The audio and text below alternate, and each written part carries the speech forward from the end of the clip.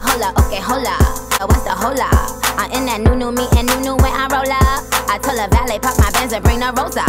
Bless the Lord at all times, and his praise shall continue to be in my mouth. And we ought to be grateful tonight for this wonderful woman of God, Sister Jeannie Hatchett. Amen. She was a wonderful mother, great wife, true grandmother, good cook, lovely person, wonderful director of plays, good choir director. She can sing better than anybody in the church. So she has all the talents. And we ought to just be grateful for her touching our lives. And we're just so appreciative of this wonderful family, her daughters and grandchildren, honoring your mother while she can still smell her flowers. And so, Sister Jeannie, we bless you. We thank you for inviting us. My wife and I, we could not stay. We just came for one affair. And of course, we have an early service tomorrow. But I would not allow this day to pass without my presence being felt with the Jeannie Hatchett. Jeannie, I love you very much. From the Carmel Baptist Church, which will put something in your envelope. We all love you very much. I see some of our members here. Not only enjoy the rest of your evening, but enjoy the rest of your night. You heard that, Brother Hatchett? and enjoy the rest of your life. Enjoy your family because you have a wonderful family. God bless you. Have a smile upon you. And all of you all enjoy the rest of your evening. May God bless you and thank you. Um, I know you're eating, but we're gonna go ahead and dim the lights a little. We're gonna dim the lights, um, so you all can still eat but watch the video.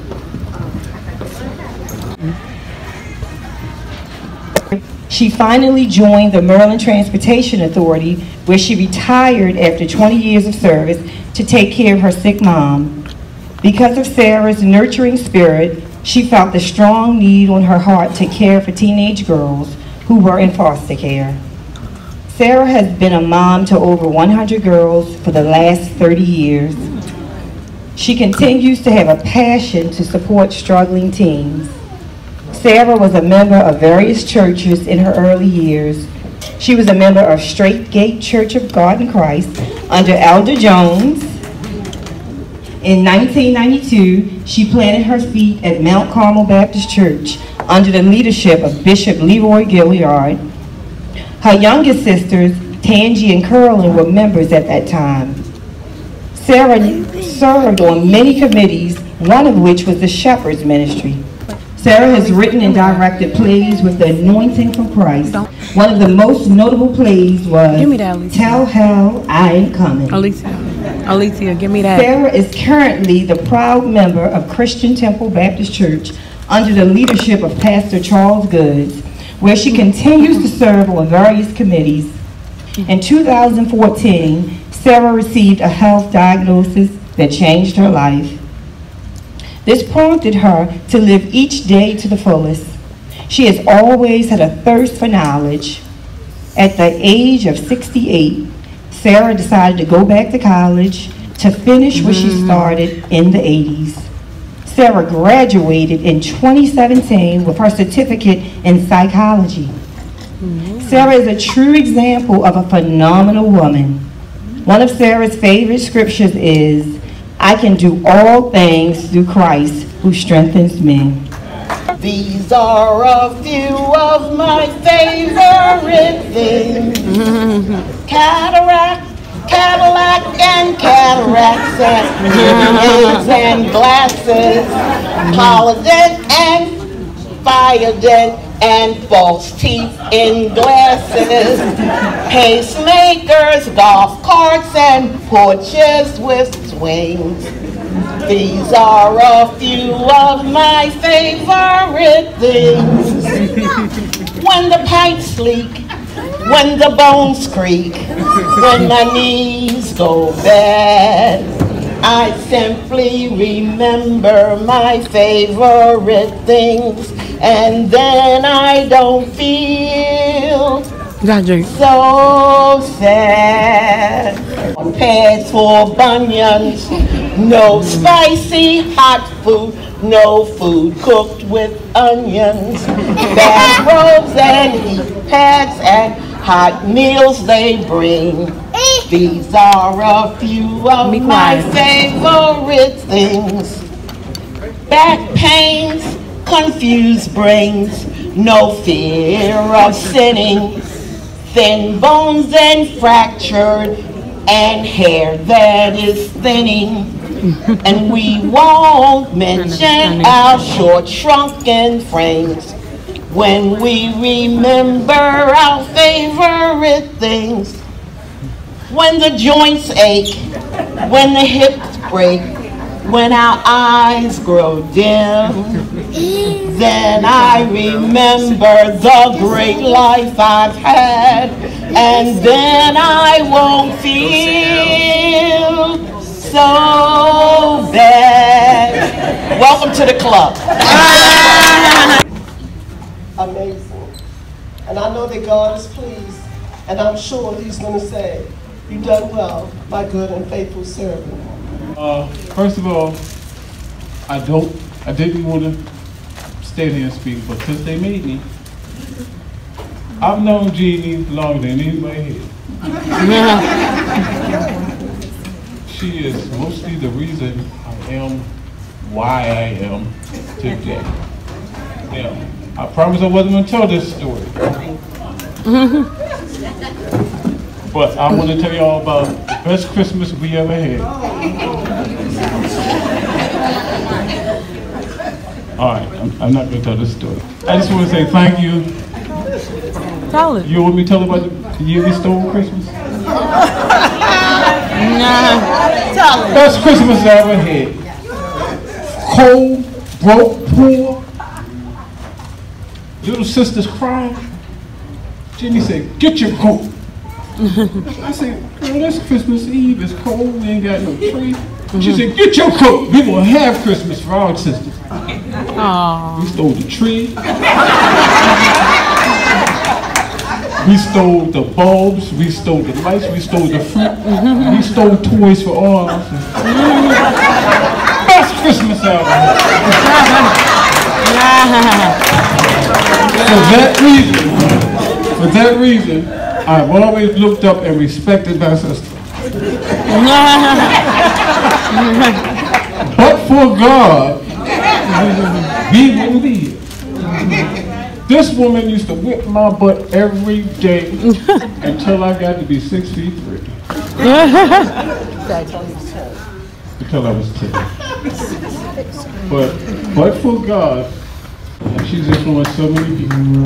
So, with that said, best Christmas we ever had. Mommy, it's tons of stories that I could tell everyone, but what I do want to say is my mother has taught me to be a woman of God. And it's one thing to know God because your parents tell you to go to church. And it's another thing to have to experience Him for yourself when you go through stuff. And this has been my last couple of years of a test. But when I tell you my mother has been by my side each step of the way, from bringing pull-ups to my job, to picking kids up at the last minute when I call her, doing whatever I need, because I never saw myself at 40 years old with three babies. but like I said, I thank God that my mother taught me to know God for myself. Because although I do depend on her a lot, she makes sure that she lets me know that whenever she's there or not there, I do have someone that I can depend on. So I thank God, Mother, for putting you in my life because I am certainly blessed to be the woman that I am because of you. And like I told you all the time, if I could be half the woman that you are, then I know that I'll be fine. Thank you, Mom. But ma, I don't, I don't even know what to say. You are my everything. You're everybody's everything. You are the, the Madea of our family. the matriarch. I mean, really. Um, my mother is the problem solver. I just turned 50, but my mother is like, no matter what you're going through, If you're having a bad day, you have a really big problem, she'll like, look, this is what we're gonna do. She just makes you feel so comfortable. Like, I mean, we're grown women, but my mother still makes you just feel like, look, calm down. This is how we're gonna handle this, you know? She is just the biggest support, just, just, I can't even explain it. And everybody feels that way about their mother, but we really do. My coworkers know, you know, we love our mother. If my boss comes in my cubicle, I'm like, Mom, I'm talking to my mother on the phone, I'm like telling my boss, wait a minute, hold it. I'm at my job, you know. But I just, I can't express the love just that we have for you. Everybody looks to you for guidance, advice, love, support. When I think about, and Madea was just the right word. I'll tell you a little bit about how I came to know Miss Jean. Hey, um, when I was 16 and I was living in a drug-infested home where all the people who were caring for me were either selling or using drugs. And I called CPS for myself to get out of that situation. I got put in Mount Vernon Youth Center. And I think I was the only one who was there on my own and out of some legal reason. But I was 16 turning 17, and I couldn't stay there. They told me, you know, once I turned 17, you know, I had, had to find somewhere else. I didn't think I would end up anywhere but back where I was at. And by the grace of God, this Jean hit me to come to her home. I am 47 now. And everything that I learned about how to love, how to be a woman, I mean, the simple stuff from how to cook rice, how to, you know, do dishes, how to clean a kitchen, the stuff that a mother teaches a child, teaches a daughter. I learned these things from my mom, Miss Jean. I learned this family, yama, yama, yama, yama. oh my God. We had so many memories together. When I went off to the military, you know, the only people who were there for me was my family right here. They came all the way to California, to Camp Pendleton, for me, just for me. I wouldn't have, I, I wouldn't be here if I hadn't came to your home. The first day that I came to her house, let me tell you, she said, look, we are a family of God. Either you get up on Sunday and go to church with us, or you leave the house. I said, where am I going at 7 o'clock in the morning on a Sunday? so I went to church. I was honestly scared of her when I first met her because she was so strong. I've never met anyone like her in my life, still to this day. She is, I was in 21 different foster homes. And she was the best I have ever had. Aww. Gave her a hard time, you know, just the normal teenage stuff. But she always forgave me. She always let me right back in. And to, like Danielle said, to be a part of this family and still be considered family means the world to me. Because you know my family situation, Mom. And I thank all of you. And I love you very much, Mom. Within your heart, you know that no one can change that direction you must go. Believe in what you feel and know you're right because the time will come around when you're gonna say it's yours. Believe there's